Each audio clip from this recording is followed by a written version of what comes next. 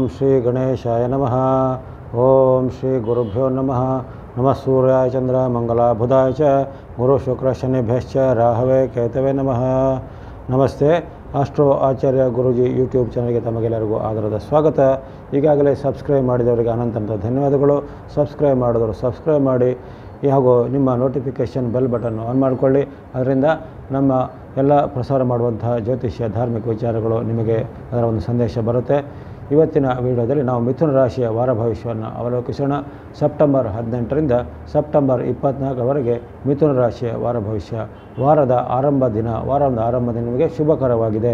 ವಾರದ ಆರಂಭ ದಿನ ಹದಿನೆಂಟು ತಾರೀಕು ಭಾನುವಾರ ಮಿಥುನ ರಾಶಿಯವರಿಗೆ ಒಂದು ಶುಭ ಸಮಾಚಾರವನ್ನು ತರುವಂಥದ್ದು, ಲಾಭಗಳು, ಆದಾಯಗಳು ಹೆಚ್ಚುವಂಥದ್ದು ಇನ್ನು ಯಾರಿಗೂ ಸ್ವಲ್ಪ ಅನಾರೋಗ್ಯಗಳಿದ್ದರೆ ಅನಾರೋಗ್ಯಗಳಿಗೆ ನಿವಾರಣೆಗೆ ಆರೋಗ್ಯ ಸುಧಾರಣೆ ಆಗುವಂಥದ್ದು, ಶುಭ ಸಮಾಚಾರಗಳನ್ನು ಕೇಳುವಂಥದ್ದು, ಜೊತೆಗೆ ಯಾವುದಾದ್ರೂ ಒಂದು ಸಮಾರಂಭಗಳಲ್ಲಿ ಬಂಧು ಮಿತ್ರರ ಸಮಾಗಮ ಆಗುವಂಥದ್ದು, ಅಥವಾ ಯಾವುದಾದ್ರೂ ಒಂದು ಉನ್ನತ ವ್ಯಕ್ತಿಗಳ ಒಂದು ಪರಿಚಯ ಆಗುವಂಥದ್ದು, ಅದರಿಂದ ನಿಮಗೆ ಯಾವುದಾದ್ರು ಕಾರ್ಯ ಸಾಧನೆಗೆ ಮುಂದೆ ಲಾಭಗಳು, ಆದಾಯಗಳು ಬರುವಂಥದ್ದು ಇವೆಲ್ಲ ಸಾಧ್ಯತೆ ನಿಮಗೆ ನಿಚ್ಚಳವಾಗಿ ಇದೆ. ಹಾಗೆ ಹತ್ತ ಹದಿನೆಂಟನೇ ತಾರೀಕು ಭಾನುವಾರ ಇದನ್ನು ಚೆನ್ನಾಗಿ ಬಳಸ್ಕೊಳ್ಳಿ. ಆ ಬಳಿಕ ಹತ್ತೊಂಬತ್ತನೇ ತಾರೀಕು ಹತ್ತೊಂಬತ್ತನೇ ತಾರೀಕು ಸೋಮವಾರ ಸೋಮವಾರ ನಿಮಗೆ ಎಲ್ಲ ಕಾರ್ಯಸಿದ್ಧಿ ಆಗುವಂಥದ್ದು. ಯಾವುದಾದ್ರೂ ಕೆಲಸ ಕಾರ್ಯಗಳಿದ್ರೆ ಕೋರ್ಟ್ ಕಚೇರಿದ್ದೋ ಅಥವಾ ಸರ್ಕಾರಿ ಇಲಾಖೆಗಳದ್ದೋ ಅಥವಾ ಇನ್ನಿತರ ಯಾವುದೋ ಕೆಲಸಗಳನ್ನ ಅದನ್ನು ನೀವು ಅಳವಡಿಸಿಕೊಂಡ್ರೆ ಖಂಡಿತ ಅದು ಸಿದ್ಧಿ ಆಗುತ್ತೆ. ಇನ್ನು ಮಿಥುನ ರಾಶಿಯ ವಿದ್ಯಾರ್ಥಿಗಳಿಗೆ ವಿದ್ಯಾರ್ಥಿಗಳಿಗೆ ಸಹ ನಿಮಗೆ ಹತ್ತೊಂಬತ್ತನೇ ತಾರೀಕು ಸೋಮವಾರ ದಿನ ಅತ್ಯುನ್ನತ ಫಲವನ್ನು ಕೊಡುವಂಥದ್ದು. ಆರೋಗ್ಯದಲ್ಲಿ ಸಹ ಉತ್ತಮ ಸ್ಥಿತಿ ಇರುತ್ತೆ, ಹಣಕಾಸಿನಲ್ಲಿ ಉತ್ತಮ ಇರುತ್ತೆ. ಗೃಹಿಣಿಯರಿಗೂ ಹಾಗೆ ಮನದಲ್ಲಿ ಒಂದು ಸಂತೃಪ್ತಿಯ ವಾತಾವರಣ, ಯಾವುದಾದ್ರು ಖರೀದಿಗಳು ಮಾಡುವಂಥದ್ದು. ಜೊತೆಗೆ ಯಾವುದೋ ಬಂಧು ಮಿತ್ರರಿಂದ ಶುಭ ಸಮಾಚಾರಗಳನ್ನು ಕೇಳುವಂಥದ್ದು ಇವೆಲ್ಲವೂ ಹತ್ತೊಂಬತ್ತನೇ ತಾರೀಕು ಒಂದು ಮಿಥುನ ರಾಶಿಯವರಿಗೆ ಆಗುತ್ತೆ. ಆ ಬಳಿಕ ಇಪ್ಪತ್ತನೇ ತಾರೀಕು ಇಪ್ಪತ್ತನೇ ತಾರೀಕು ಮಂಗಳವಾರ. ಮಂಗಳವಾರ ನಿಮಗೆ ಶುಭ, ಮಂಗಳ ಫಲ ಕೊಡುವಂಥ ದಿನ. ಆ ನಿಮಗೆ ವಿಶೇಷವಾಗಿ ಶುಕ್ರನ ಅನುಗ್ರಹ.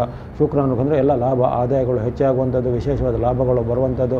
ವ್ಯಾಪಾರಸ್ಥರಿಗೆ, ಉದ್ಯೋಗಿಗಳಿಗೆ ಸಹ ಉತ್ತಮವಾಗಿರುವಂಥ ಅಥವಾ ಯಾವುದಾದ್ರು ಉದ್ಯೋಗಿಗಳಿಗೆ, ನೌಕರಿಗಳಿದ್ರೆ ಆ ದಿನ ನಿಮಗೆ ಯಾವುದಾದ್ರು ಬರಬೇಕಾದ್ರೆ ಬಾಕಿಗಳು ಇದ್ದರೆ ಹಳೆದ ಯಾವುದೋ ಏರಿಯರ್ಸ್ ಎಲ್ಲ ಇದ್ದರೆ ಅದರದ್ದು ಬರುವಂಥದ್ದು. ಅಥವಾ ಬಡ್ತಿ ಸಿಗುವಂಥ ಯೋಗ, ಯಾವುದಾದ್ರು ಕೆಲಸಗಳಿಗೆ ಪ್ರಯತ್ನ ಪಡುವಂಥವ್ರಿದ್ದರೆ ಆ ದಿನ ಹೊಸ ಕೆಲಸಗಳಿಗೆ ನಾವು ಅದನ್ನು ಅರ್ಜಿ ಹಾಕುವಂಥದ್ದಾಗಲಿ ಪ್ರಯತ್ನ ಪಟ್ಟರೆ ಕೆಲಸಗಳು ಕಾರ್ಯಗಳು ಸಿದ್ಧಿಯಾಗುತ್ತವೆ ಹಾಗಾಗಿ ಹದಿನೆಂಟು, ಹತ್ತೊಂಬತ್ತು, ಇಪ್ಪತ್ತು ಮೂರು ದಿನ ಮಿಥುನ ರಾಶಿಯವರಿಗೆ ಒಂದು ಶುಭ ಲಾಭಗಳನ್ನು ಕೊಡುವ ದಿನ ಮೂರು ದಿನಗಳನ್ನು ನಿಮ್ಮ ನಿಮ್ಮ ಯಾವುದಾದ್ರು ಇಂಪಾರ್ಟೆಂಟ್ ಕೆಲಸಗಳನ್ನು ಪ್ರಾಮುಖ್ಯವಾದ ಕೆಲಸಗಳನ್ನು ಬಳಸಿಕೊಳ್ಳಿ. ಯಾರಿಗೆ ಉದ್ಯೋಗಕ್ಕೆ ಪ್ರಯತ್ನ ಮಾಡೋ ಉದ್ಯೋಗ ಪ್ರಯತ್ನಕ್ಕೆ ಯಾವ ದಿನ ಹೋಗ್ಬೋದು ಅಥವಾ ಯಾವುದಾದ್ರು ಮಾತುಕತೆ ಭೇಟಿಯಾಗಬೇಕಾದ್ರೆ ಭೇಟಿ ಭೇಟಿಯಾದರೂ ಸಹ ಕೆಲಸ ಕಾರ್ಯಗಳಾಗುತ್ತೆ. ಇನ್ನು ಯಾವುದಾದ್ರು ಮದುವೆ ಪ್ರಯತ್ನಗಳು ಅಥವಾ ಇನ್ನಿತರ ಯಾವುದಾದ್ರು ನಿಮಗೆ ವೈಯಕ್ತಿಕವಾದ ಈ ಮನೆ ಅಥವಾ ಯಾವುದಾದ್ರು ಭೂಮಿ ಸೈಟ್ ವಿಚಾರ ಯಾವುದಾದ್ರು ಇದ್ದರೂ ಆ ದಿನ, ಆ ಮೂರು ದಿನಗಳಲ್ಲಿ ನೀವು ಮಾಡಿದರೆ ಆ ಮೂರು ದಿನಗಳು ನಿಮಗೆ ಶುಭ ಲಾಭ ಹಾಕೊಂಡು ತರುವಂಥ ಕೂಡ ದಿನಗಳು ಆಗಿವೆ ಹೆಚ್ಚಾಗಿ ಮಂಗಳವಾರದ ನಿಮಗೆ ಲಾಭ, ಆದಾಯಗಳು, ಶುಭ ಸಮಾಚಾರಗಳು ಬರುತ್ತವೆ. ಜೊತೆಗೆ ಮಿಥುನ ರಾಶಿಯ ವಿದ್ಯಾರ್ಥಿಗಳು ಹಾಗೆ ಈ ಮೂರು ದಿನಗಳಲ್ಲಿ ನಿಮಗೆ ಎಲ್ಲ ನಿಮ್ಮ ಕೆಲಸ ಕಾರ್ಯಗಳಲ್ಲಿ ಅಥವಾ ನಿಮಗೆ ಪ್ರಶಸ್ತಿ ಬರುವಂಥದ್ದು ಅಥವಾ ಯಾವುದಾದ್ರು ಬಹುಮಾನಗಳು ಬರುವಂಥದ್ದು ಅಥವಾ ಸೀಟ್ ಸಿಗುವಂಥ ವಿಚಾರವು ಎಲ್ಲವೂ ನಿಮ್ಮ ಪರವಾಗಿ ಪೂರಕವಾಗಿ ಆಗುವಂಥ ಮಿಥುನ ರಾಶಿಯಾಗಿ ಮೂರು ದಿನಗಳು ಚೆನ್ನಾಗಿರುತ್ತವೆ. ಆ ಬಳಿಕ ಇಪ್ಪತ್ತೊಂದು, ಇಪ್ಪತ್ತೊಂದನೇ ತಾರೀಕು ಬುಧವಾರ ಬುಧವಾರ ನಿಮಗೆ ಮಿಶ್ರ ಫಲ ಎಂದು ಕಂಡುಬರುತ್ತೆ.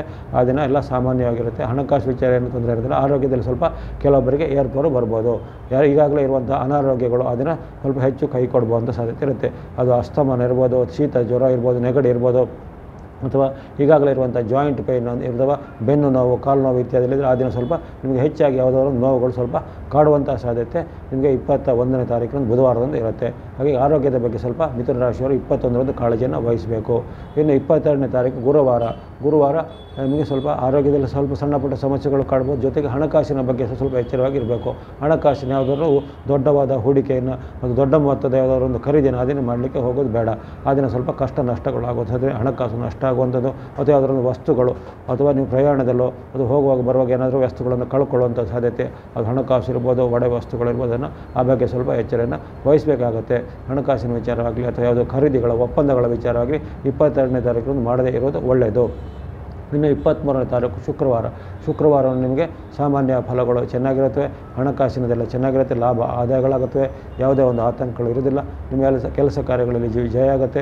ಇನ್ನು ಯಾರು ವಿಶೇಷವಾಗಿ ಮಿಥುನ ರಾಶಿಯವರು, ವ್ಯಾಪಾರಿಗಳು, ಉದ್ಯೋಗಿಗಳು, ಕೃಷಿಕರು ಇದ್ದರೆ ಆ ಕೃಷಿಕರಿಗೆ ನಿಮ್ಮ ನಿಮ್ಮ ಉತ್ಪನ್ನಗಳಿಗೆ ಲಾಭ ಬರುತ್ತೆ, ನಿಮ್ಮ ಉತ್ಪನ್ನಗಳಿಗೆ ಬೇಡಿಕೆ ಬರುತ್ತೆ. ಅಥವಾ ನೀವು ಊಹಿಸಿದಕ್ಕಿಂತ, ನೀವು ಎಕ್ಸ್ಪೆಕ್ಟ್ ಮಾಡಿದಕ್ಕಿಂತ ಹೆಚ್ಚು ಪ್ರಾಫಿಟ್ ಅಂದರೆ ನಿಮಗೆ ಲಾಭಾಂಶಗಳು ಬರುವಂಥದ್ದು ಆ ದಿನ ಮಿಥುನ ರಾಶಿಯವರಿಗೆ ಇಪ್ಪತ್ತ್ಮೂರನೇ ತಾರೀಕು ಶುಕ್ರವಾರದ ಶುಕ್ರವಾರದಿಂದ ನಿಮಗೆ ವಿಶೇಷವಾಗಿ ಶುಕ್ರ ಅನುಗ್ರಹ ಅತ್ಯುತ್ತಮ, ಅತ್ಯುತ್ತಮವಾಗಿದೆ. ಜೊತೆಗೆ ಬುಧ ಗ್ರಹದ ಒಂದು ಅತ್ಯುತ್ತಮವಾದ ಕಿರಣಗಳ ತರಂಗ ನಿಮ್ಮ ರಾಶಿಗೆ ಬರಲಿದೆ. ಹಾಗಾಗಿ ಅವೆರಡೆಲ್ಲ ಒಂದು ಒಂಥರ ರಾಜಯೋಗದ ಫಲ. ಅದನ್ನು ಇಪ್ಪತ್ತ್ಮೂರನೇ ತಾರೀಕು ನಿಮಗೆ ಶುಕ್ರವಾರದಂದು ಸಿಗಲಿದೆ. ಇನ್ನು ವಾರದ ಕೊನೆಯ ದಿನ ವಾರದ ಕೊನೆಯ ದಿನ ಸಹ ನಿಮಗೆ ಶನಿವಾರ. ಆ ದಿನ ಸಹ ಉತ್ತಮವಾಗಿದೆ. ಇಪ್ಪತ್ನಾಲ್ಕನೇ ತಾರೀಕು, ಇಪ್ಪತ್ನಾಲ್ಕು ಶನಿವಾರ. ಆ ದಿನ ನಿಮಗೆ ಉತ್ತಮ ಫಲಗಳು ಬರಲಿವೆ.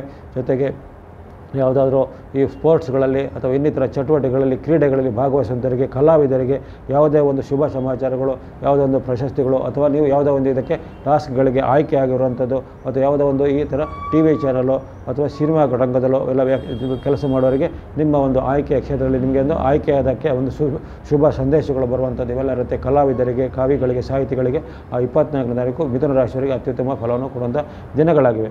ಇನ್ನು ವಿಶೇಷವಾಗಿ ಈಗ ಪಿತೃಪಕ್ಷ ಇದನ್ನು ಪದೇ ಪದೇ ಹೇಳ್ತಾ ಇರ್ತೀನಿ. ಪಿತೃಪಕ್ಷ ಕಾಲ ಈಗಾಗಲೇ ಪಿತೃಪಕ್ಷ ಹನ್ನೊಂದನೇ ತಾರೀಕಿನ ಜಾರಿದೆ. ಇಪ್ಪತ್ತೈದರವರೆಗೆ ಪಿತೃಪಕ್ಷ ಅಂತಲೇ ಇರುತ್ತೆ. ಆ ಪಿತೃಪಕ್ಷ ಕಾಲದಲ್ಲಿ ನಿಮ್ಮ ನಿಮ್ಮ ಕುಲಾಚಾರ ಅನುಸಾರ ಅಥವಾ ನಿಮ್ಮ ನಿಮ್ಮ ಒಂದು ಹಿರಿಯರು ಅನುಸರಿಸಿಕೊಂಡ ಪದ್ಧತಿ ಯಾವುದಿದೆ, ಅದನ್ನು ಮುಂದುವರಿಸಿಕೊಂಡು ಹಿರಿಯರಿಗೆ ಗೌರವವನ್ನು ಸಲ್ಲಿಸಿ ಪಿತೃಗಳಿಗೆ ಅಥವಾ ಗತಿಸಿದಂಥವರಿಗೆ ನಿಮ್ಮ ನಿಮ್ಮ ಬಂಧು ಬಾಂಧವರಲ್ಲಿ ಯಾರು ಇದ್ದರೆ ಅವರಿಗೆ ಗತಿಸಿದ ಗೌರವವನ್ನು ನಿಮ್ಮ ನಿಮ್ಮ ಪದ್ಧತಿ ಪ್ರಕಾರ ಸಲ್ಲಿಸಿ. ಇನ್ನು ಹೆಚ್ಚಾಗಿ ದಾನ ಧರ್ಮಗಳನ್ನು ಈ ಪಕ್ಷದಲ್ಲಿ ಮಾಡಿದರೆ ಬಹಳ ಒಳ್ಳೆಯದು ಅದನ್ನು ಬ್ರಾಹ್ಮಣರಿಗೆ ಮಾಡ್ಬೋದು, ಭಿಕ್ಷುಕರಿಗೆ ಅಥವಾ ಅನಾಥಾಶ್ರಮಗಳಿಗೆ ಅಥವಾ ಅನ್ನದಾನ ನಡೆಸುವಂಥ ದೇವಾಲಯ ಕ್ಷೇತ್ರಗಳಿಗೆ ಸಹ ನೀವು ಕಾಣಿಕೆಯನ್ನು ಸಲ್ಲಿಸುವುದು. ಈಗ ಆನ್ಲೈನಲ್ಲಿ ಸಹ ಸೌಲಭ್ಯ ಇದೆ. ಭಾಳಷ್ಟು ಸೇವಾ ಸಂಸ್ಥೆಗಳಿವೆ. ಅಂತ ಅನ್ನದಾನ ನಡೆಯುವಂಥ ಯಾವುದಾದ್ರು ದೇವಾಲಯಗಳ ಕ್ಷೇತ್ರಗಳಿಗೆ ಸಹ ನೀವು ಒಂದು ಕಾಣಿಕೆಯನ್ನು ಪಿತೃಪಕ್ಷದಲ್ಲಿ ಸಲ್ಲಿಸಿ. ಜೊತೆಗೆ ಪಿತೃಗಳ ಪ್ರೀತ್ಯರ್ಥವಾಗಿ ಗೋವುಗಳಿಗೆ, ಹಸುಗಳಿಗೆ ಆಹಾರವನ್ನು ಕೊಡುವಂಥದ್ದು, ಮೇವುಗಳನ್ನು ಕೊಡುವಂಥದ್ದು, ಕಾಗೆಗಳಿಗೆ ಆಹಾರವನ್ನು ನೀಡುವಂಥದ್ದು ನಾಯಿಗಳಿಗೆ ಸಹ ಆಹಾರವನ್ನು ನೀಡ್ಬೋದು ಜೊತೆಗೆ ಇರುವೆಗಳಿಗೆ ಸಹ ಆಹಾರವನ್ನು ಕೊಡುವಂಥ ಪದ್ಧತಿ ನಮ್ಮಲ್ಲಿ ಇರುತ್ತೆ. ಹಾಗಾಗಿ ನಿಮ್ಮ ನಿಮ್ಮ ಪದ್ಧತಿ ಅನುಸಾರ ಎಡೆ ಇಡೋದು ಅಥವಾ ತರ್ಪಣ ಬಿಡೋದು ಅಥವಾ ಇನ್ನಿತರ ಯಾವುದೋ ಪದ್ಧತಿಗಳು ಮಾಡಿ ಯಾವುದೋ ಪದ್ಧತಿಗೆ ಹೋಗದೇ ಇರೋದು ಅಥವಾ ಅನುಷ್ಠಾನಗಳು ಯಾವುದೋ ಇಲ್ಲದೆ ಇದ್ದರೂ ನೀವು ಈ ಕಾಲದಲ್ಲಿ ಸ್ವಲ್ಪ ನಿಮ್ಮ ತಕ್ಕ ಮಟ್ಟಿಗೆ ದಾನ ಧರ್ಮಗಳನ್ನು ಮಾಡಿ. ಅದು ಯಾವುದೇ ಒಂದು ಅತ್ಯುತ್ತಮ ಸಂಸ್ಥೆಗಳಿಗೆ ಮಾಡ್ಬೋದು, ಅಥವಾ ಬಡ ಭಿಕ್ಷುಕರಿಗೆ ಮಾಡ್ಬೋದು, ಬ್ರಾಹ್ಮಣರಿಗೆ ಕೊಡ್ಬೋದು. ವಿಶೇಷವಾಗಿ ಆಹಾರ ಪದಾರ್ಥಗಳನ್ನು, ದವಸ ಧಾನ್ಯಗಳನ್ನು ಅಥವಾ ಸಿದ್ಧಪಡಿಸಿದಂಥ ಭೋಜನವನ್ನು ಈಗ ಈಗಿನ ಕಾಲದಲ್ಲಿ ಕೊಡುವಂಥದ್ದು ಈ ಪಿತೃಪಕ್ಷಗಳಲ್ಲಿ ಪಿತೃಗಳು ತೃಪ್ತಿಯಾಗ್ತಾರೆ. ಇವೆಲ್ಲವೂ ನೀವು ಅನುಸರಿಸಿದ್ರೆ ಮಿಥುನ ರಾಶಿಯವರಿಗೆ ಯಾವುದೇ ಆತಂಕ ಇಲ್ಲ.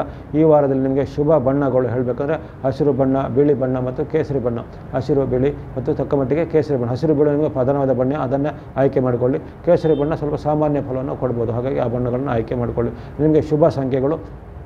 ಐದು, ಆರು ಮತ್ತು ನಾಲ್ಕು. ಐದು, ಆರು, ನಾಲ್ಕು ಸಂಖ್ಯೆಗಳು ನಿಮಗೆ ಈ ವಾರದಲ್ಲಿ ಸ್ವಲ್ಪ ಶುಭ ಫಲವನ್ನು ಕೊಡುವಂಥ ಸಾಧ್ಯತೆಗಳು ಇರುತ್ತವೆ.